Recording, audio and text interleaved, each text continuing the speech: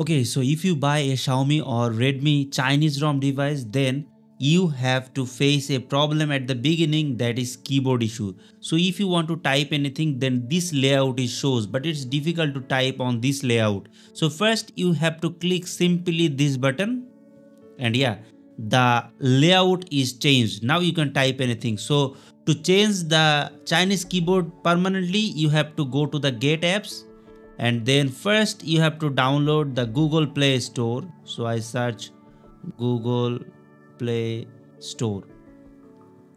Google play store. And you click update option or download anything.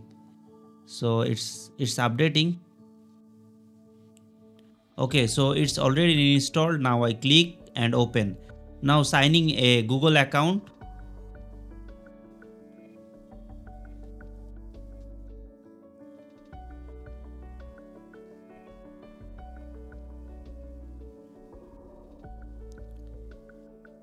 okay so our google play store is installed. Now we search the gboard or any keyboard what you want to download or what you prefer. So i prefer to use gboard. It's google keyboard and it's work good on this ch chinese variant.